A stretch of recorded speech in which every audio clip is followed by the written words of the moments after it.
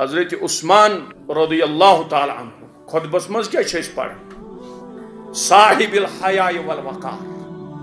حضرت عثمان گو صاحب الحیاء حیا وول وقار وول ڈگنیٹی یمس حاصل آنر اکس موقع پہ رسول اللہ صلی اللہ علیہ وسلم تشریف فرما۔ ابو بکر آئی۔ تمو بدلو نا پن پوزیشن حضرت عمر آو تمو بدلو نا پن پوزیشن یتھے حضرت عثمان آو، تمو بدلو پن پوزیشن زنگ وٹک. حضرت عائشہ چھ منظر وچھان تم کور عرض یا رسول اللہ صلی اللہ علیہ وسلم، میون باب صاحب آو، تم سات کرو نا پوزیشن چینج عمر فاروق آو، یمس متعلق فرموک الملہم المحدث.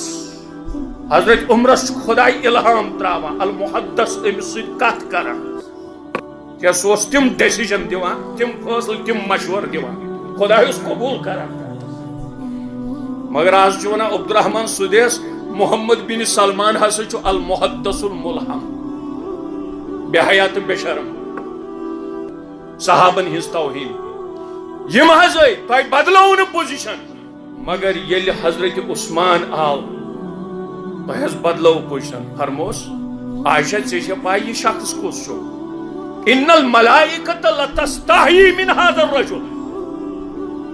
یہ چھُ تیوٗت باحیا شرمی وول با اخلاق أمِس چھو تیوت وقار زینت حاصل کہ ملائکہ تہِ چھِ أمِس برونٛہہ شرم محسوس کر. تمن تہ ہند حیا.